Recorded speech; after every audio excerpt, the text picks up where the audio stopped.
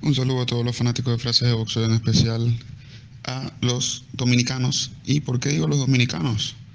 Porque, señoras y señores, el día de ayer fue oficializado el combate de preparación de Gervonta Tank Davis para lo que será su mega pelea ante Ryan García.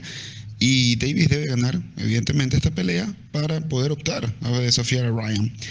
El combate será ante el campeón de la AMB de peso supermosca, Héctor Luis el androide García, dominicano que se adjudicó este cinturón al derrotar al venezolano Roger Gutiérrez, la misma noche que otro dominicano, Alberto La Vispa Puello, ah, también se coronó campeón del mundo de la AMB en 140 libras. Eh, la pelea se llevará a cabo en la división de las 130 libras. Eh, para Héctor García es subir una división de peso, es un gran reto, porque literal están viendo al dominicano simplemente como un peldaño que hay que subir, que hay que escalar, derrotarlo de manera, entre unas grandes comillas, fácil, sin pasar mucho trabajo. Esto lo digo, quiero que se entienda bien, con el mayor de los respetos, pero es la visión que está teniendo Showtime, el equipo de trabajo de Gervonta Davis y el mismo Gervonta Davis, para poder optar a la pelea contra Ryan García. Es decir, pasar el menos trabajo posible, tener una victoria impresionante y rápida, donde no reciba castigo y muchísimo menos eh, obtenga una lesión.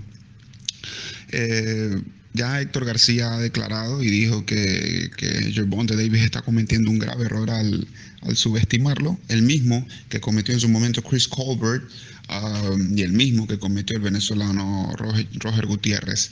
Eh, Héctor eh, Luis García es un gran boxeador, un boxeador que tiene un estilo híbrido que te puede pelear a la distancia larga, mediana, la corta, si tiene que ir al intercambio de golpes lo va a hacer sin ningún tipo de problema, pero posee una técnica también muy muy buena, buen desplazamiento de pies, buen contragolpeo, algo que quizás se le pueda complicar un poco a Gervonta Davis, pero hay que ver también cómo Gervonta eh, decide pelear. Ya todos sabemos lo que hace Gervonta Davis, no hace falta ni siquiera explicarlo, recordarlo.